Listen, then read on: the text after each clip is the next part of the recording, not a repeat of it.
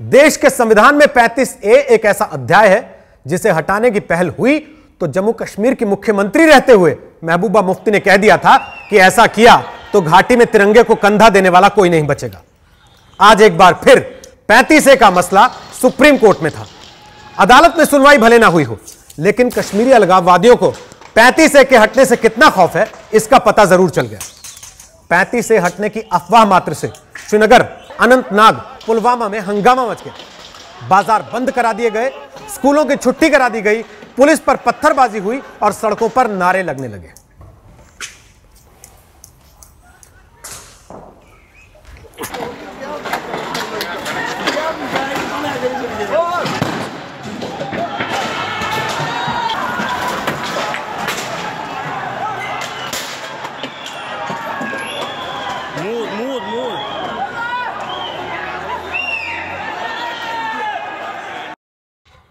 तो ये तस्वीरें आपने देख ली। और जानते हैं ऐसा क्यों हुआ? क्योंकि हमारा देश का संविधान जम्मू कश्मीर को कुछ ऐसे अधिकार देता है, जिनको अलगाववादियों ने अपना हथियार बना लिया कश्मीर को भारत से अलग करने का यह अधिकार है। क्या आपको पता है कि जम्मू कश्मीर के भारत का अभिन्न अंग होते हुए भी हरियाणा, पंजाब, दिल्ली, केरल, तमिलनाडु या भारत के किसी भी रहने वाले राज्य का कोई भी आदमी जम्मू कश्मीर में स्थायी तौर पर नहीं बच सकता? क्या आपको पता है कि भारत के किसी भी राज्य का कोई नागरिक जम्मू कश्मीर जाकर ज़मीन नहीं खरीद सकता? क्या आपको पता है कि आपकी देश के किसी भी राज्य में सरकारी नौकरी लग सकती है, लेकिन अगर आप जम्मू कश्मीर के निवासी नहीं हैं तो भारत के निवासी होते हुए भी आपको वहाँ सरकारी नौकरी नहीं मिल सकती। और इतना ही नहीं, जम्मू कश्मीर में पैदा हुई वहाँ की नागरिक कोई लड़की अगर जम्मू कश्मीर के बाहर किसी अन्य राज्य के लड़के से शादी कर ले तो वो अपने सारे अधिकार खो देती है, उसके बच्चे सारे अधिकार खो देते हैं। और यह व्यवस्था भारतीय संविधान ने दी सवाल यह कि क्या यही व्यवस्था नहीं है जो जम्मू कश्मीर को असल में भारत से काट देती है, तोड़ देती है? तो इस व्यवस्था के खिलाफ अर्जी सुप्रीम कोर्ट में आते ही अलगाववादी आखिर बंद का ऐलान क्यों करने लगते हैं? पत्थरबाज हाथों में पत्थर लेकर सड़कों पर क्यों निकल आते हैं? इस याचिका से उमर अब्दुल्ला परेशान क्यों हो जाते हैं और महबूबा मुफ्ती को गुस्सा क्यों आ जाता है? क्योंकि 35 से हटाने का मतलब होगा धारा 370 की रीढ़ तोड़ देना। इस पर बहस करेंगे कि एक देश एक कानून क्यों नहीं होना चाहिए? उसके पहले आप यह जान लीजिए कि 35 ए पर जो याचिका अदालत में लगी है, वो असल में क्या कहती है? हम आपको बताते हैं। अदालत में जो याचिका लगी है, वो ये कहती है कि यह अनुच्छेद देश के बाकी हिस्सों के नागरिकों के साथ भेदभाव करता है। ये राष्ट्रपति के आदेश से संसद को अंधेरे में रखते हुए संविधान में लाया गया। और ये एक भारत की भावना पर चोट करने वाला अनुच्छेद है। अब सवाल यह है कि हम एक तरफ़ एक देश, एक टैक्स चाहते हैं। एक देश में एक साथ चुनाव चाहते हैं तो फिर एक देश में एक कानून भला क्यों नहीं होना चाहिए? इसलिए दंगल में आज हम सीधे सवाल पूछेंगे। आखिर 35 ए पर याचिका से अलगाववादी इतना डरते क्यों हैं? 35 ए के नाम पर देश के लोगों के साथ आखिर भेदभाव कब तक होता रहेगा? जम्मू कश्मीर की महिलाओं के अधिकार पर आखिर डाका क्यों डालना चाहती हैं वहाँ की राजनीतिक पार्टियाँ? और 35 ए पर क्या सरकार, बीजेपी और जम्मू कश्मीर की पार्टियाँ सब अपनी अपनी रोटी सेक रहे हैं? और सबसे बड़ी बात कि अगर भारत देश एक देश है तो फिर हमारे देश में कानून एक क्यों नहीं है?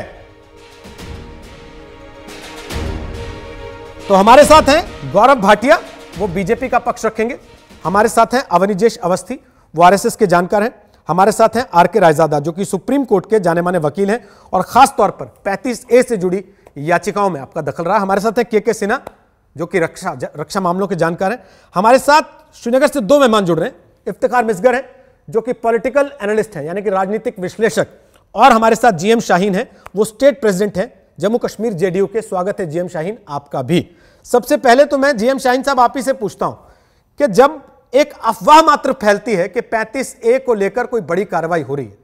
लोग सड़कों पे क्यों आ जाते हैं? पत्थरबाजी क्यों होने लगती है? हंगामा क्यों मच जाता है? डर किस बात का है? रोहित रोहित साहब, क्यों नहीं, हंगामा क्यों नहीं होगा और क्यों लोग सड़कों पे नहीं आएँगे?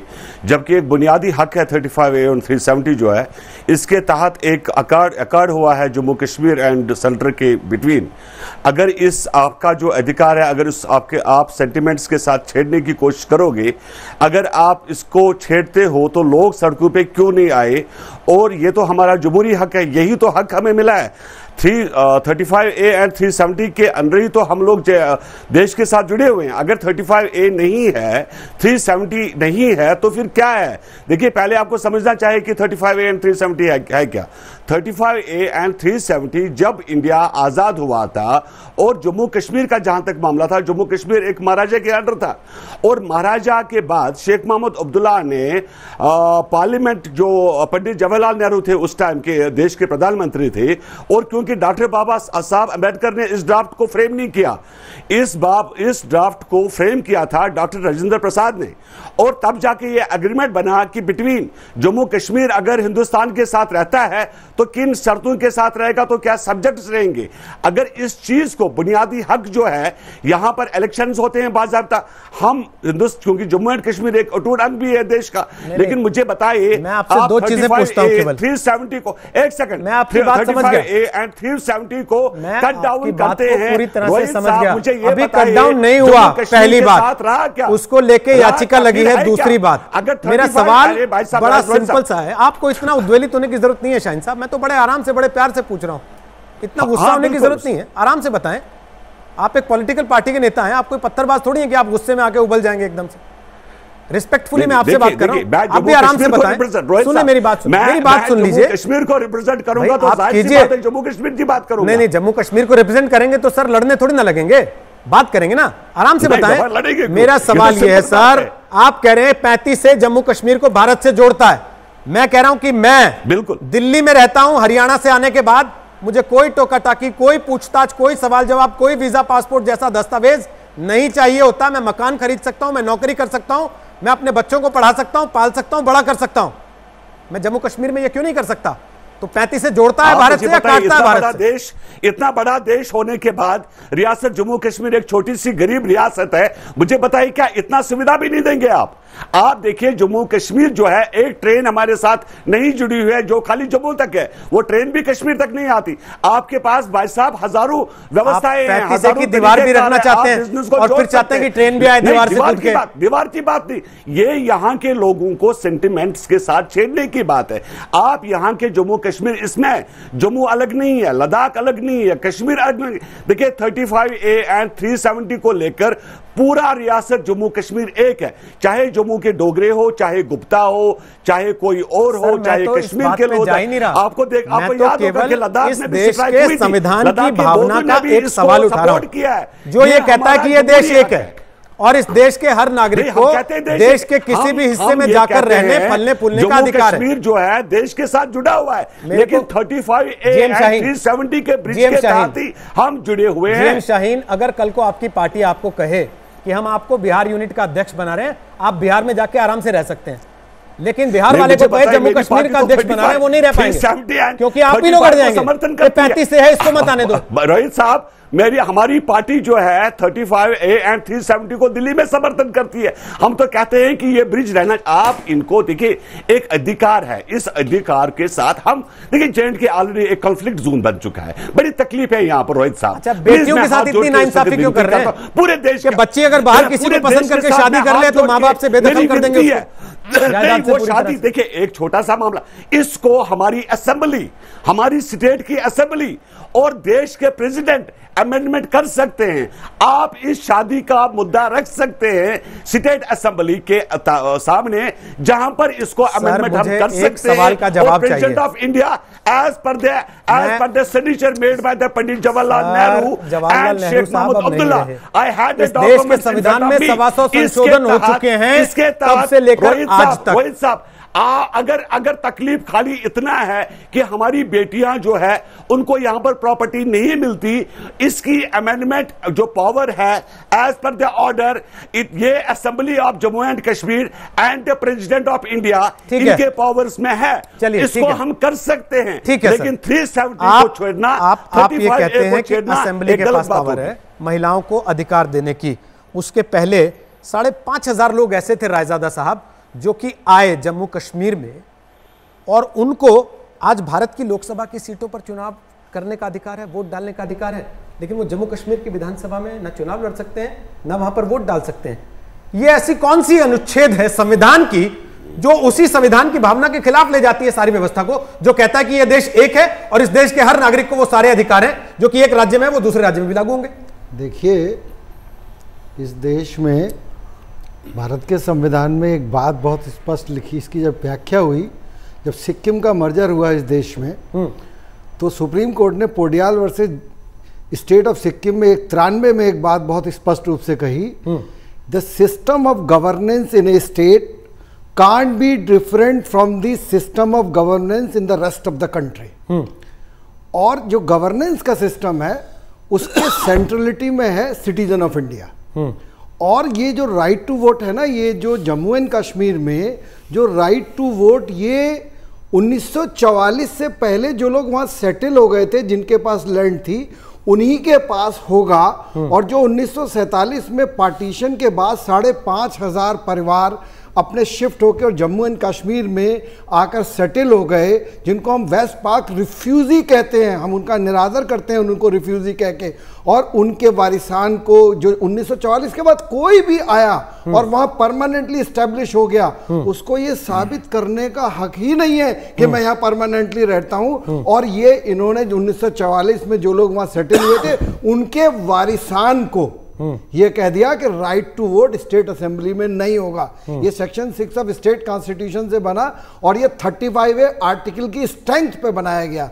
जम्मू एंड इस पे जम्मू एंड कश्मीर की जो गवर्नमेंट है उसने काउंटर एफिडेविट फ़ाइल किया है कि हमने ये section six of Jammu Kashmir Jammu and Jammu constitution में जो डाला है थर्टी फाइव ए की स्ट्रेंथ पे डाला है। मैं आपको एक बात बता दूँ यहीं पे बता दूँ। राइस वर्से काइटर्नो में सुप्रीम कोर्ट ने आइडेंटिकल मैटर में यह कहा कि ये एंसेस्ट्री के लिए राइट टू वोट है। ये पूर्वजों के लिए दिया गया श्रद्धांजलि है और ये सस्टेन नहीं कर सकते। नहीं अब राज्य की सरकार तो अपने अधिकार को लेकर पूरी तरह से जागरूक होकर मैदान में खड़ी है। गौरव भाटिया केंद्र की सरकार कहाँ है? नहीं, मैं हर बार गोलमोली कर जाती है कोर्ट में जब मामला आता नहीं है अभी पहले तो आप क्योंकि संविधान की बात कर रहे हैं और जो कहा रायजादा जी ने उस पर मैं कुछ जोड़ना चाहूँगा। अनुच्छेद 370 हमारे भारत के संविधान में है और शुरुआत होती है कि it is a temporary provision और जननी 35 ए की 370 है। 35 ए खुद जो है आज सर्वोच्च न्यायालय इस मामले को देख रहा है कि क्या प्रेसिडेंशियल ऑर्डर से 35 ए लाया जा सकता था और वो संविधान की सही स्पिरिट थी। और हमारे संविधान की जो मूल भावना है मूल मंत्र क्या है कि जो नागरिक है उनके मूल अधिकार अनुच्छेद 14, 15, 16, 21 नागरिकों के साथ भेदभाव नहीं हो सकता। सरकारी नौकरियों में बरा, बराबर से जो है अवसर मिलेंगे। इसका वायलेशन करता है 35 ए और कई लोगों ने यह पिटिशन भी डाली हुई है। आपने बिल्कुल सही बात कही। कि आप जब कश्मीरी हमारे भाई बहन देश के बाहर अब कश्मीर के बाहर आते हैं और उनको नौकरी करने का हक है वो ज़मीन भी ले सकते हैं प्रॉपर्टी भी एक्वायर कर सकते हैं तो क्या ये भेदभाव नहीं है कि दूसरा भारतीय नागरिक अगर कश्मीर जाता है तो उसको ये सेम अधिकार नहीं मिलता है? गौरव तो- मुझे ये बता दीजिए जो बातें आप यहाँ मुझे बता रहे हैं ये कोर्ट में खड़े होकर क्यों नहीं हाँ, कहते आपकी सरकार के कोर्ट पे आता हूँ मैंने पहले कहा संवैधानिक दृष्टि से। दूसरी बात इस पे जो राजनीति हो रही है आपको ये समझना होगा कहीं ना कहीं उन्नीस सौ चौवन में ये आया था पहले प्रेसिडेंशियल ऑर्डर के थ्रू उससे पहले नहीं था। आज केवल भारतीय जनता पार्टी ऐसी एक पार्टी है जो कहती है कि संविधान की मूल भावना को ध्यान में रखते हुए टेम्पररी प्रोविज़न है इसलिए अनुच्छेद 370 को खत्म होना होगा। मेरा प्रश्न है कांग्रेस है पीडीपी है और पॉलिटिकल पार्टीज़ हैं कभी आपने देखा कि वो साथ आके ये बात कहें कि हाँ जो गौरव भावना है उसके आधार पे मैं ये जानता 370 हूँ खत्म किया अगर भारतीय जनता पार्टी ये कहती है हम 370 के खिलाफ हैं तो वही भारतीय जनता पार्टी जम्मू कश्मीर में सरकार बनाते हुए 370 पे समझौता करती है। नहीं दूसरी बात सर, सुनिए। सर दूसरी बात। मैं आपसे- अदालत में भारतीय जनता पार्टी की अगुवाई वाली सरकार गोल क्यों करती है हर नहीं गोलमोल करती सुनिए अब अदालत में मैं अधिवक्ता हूँ सर्वोच्च न्यायालय में प्रैक्टिस करता हूँ आपको एक जानकारी दे दूँ कि ये पिटिशन 2014 में आई इसमें नोटिस हुआ अदालत की अपनी एक प्रक्रिया होती है आज भी मैटर एडजर्न हुआ।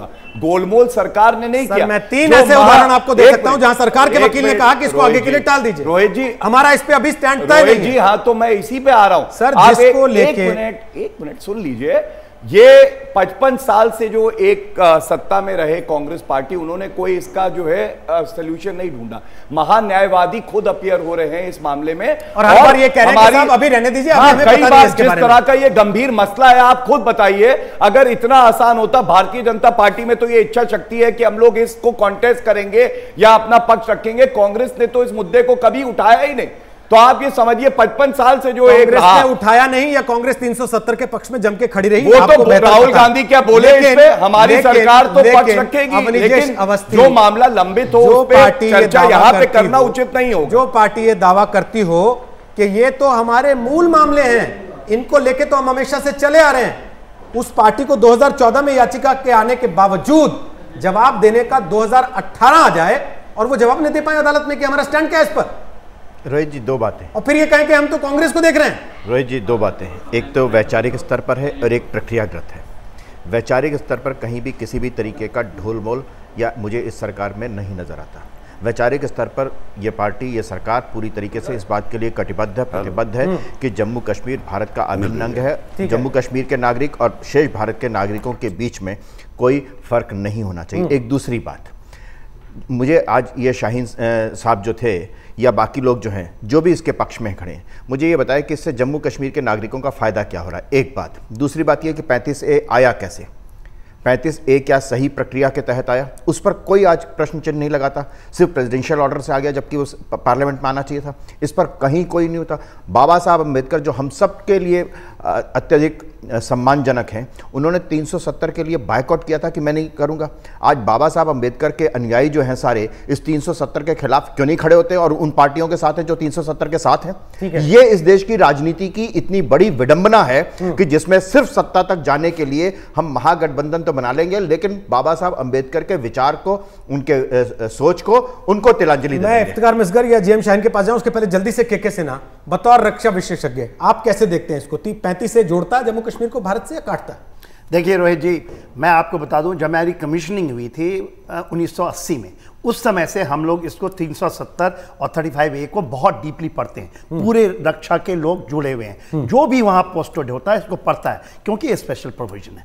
उस समय से पूरे देश के कोई भी आदमी जो वहाँ पर सर्व किया है उसको जरा भी नॉलेज हमारा ये मानना है कि 370 और 35 ए ही एक मूल कारण है कि जम्मू पूरी तरह से इंटीग्रेट नहीं हुआ है।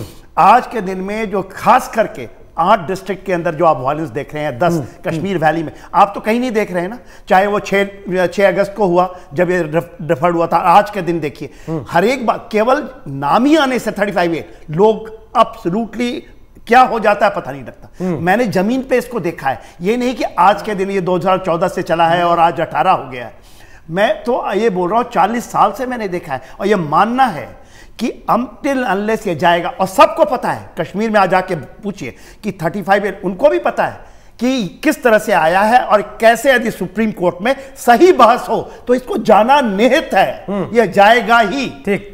अगर आपको हमारा ये वीडियो पसंद आया है तो भारत तक को सब्सक्राइब कीजिए। हमारे वीडियोस को लाइक कीजिए।